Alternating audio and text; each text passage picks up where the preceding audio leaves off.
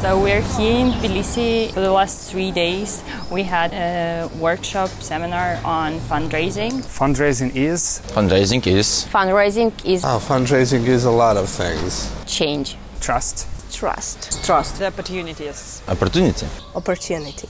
Fundraising is like Olympic Games. The challenging. Teamwork. Magic. Frustrating. but I think that uh, after these three days, my word kind of changed. And I now think that uh, it's actually uh, great to fundraise because I feel more confident. Trust because uh, it's from the both sides. Uh, first of all, the donors and the people uh, they trust us that we could make an impact and that we could uh, and implement our ideas and it uh, will change the society.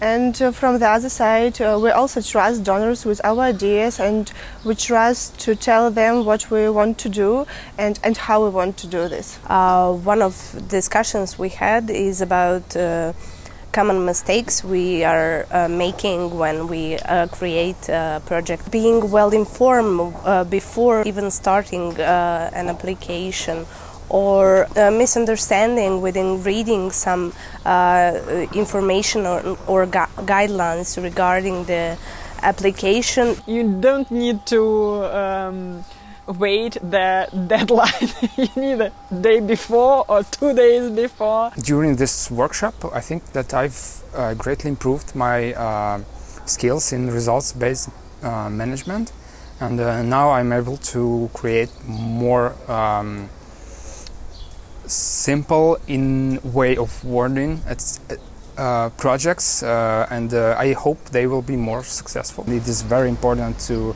make our projects uh, uh, easy to understand and uh, with a very clear and logical structure. How to write the, the correct project about the outcomes, outputs.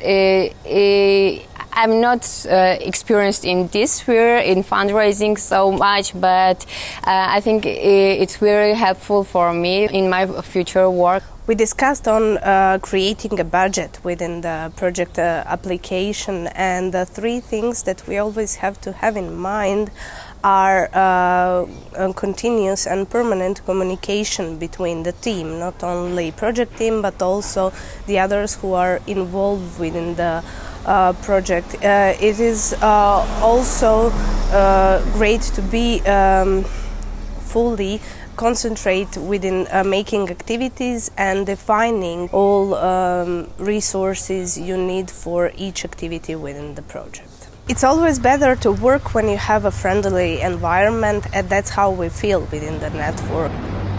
Always very inspiring and helpful to meet uh, colleagues from different countries, from different houses. When I uh, meet my uh, colleagues from other country, from other region, uh, I feel very, very, very good uh, because it is solidarity, and uh, I understand that uh, uh, I, we, and I not alone. All the things that we are doing in our own countries uh, will help to develop our societies and make the world a better place.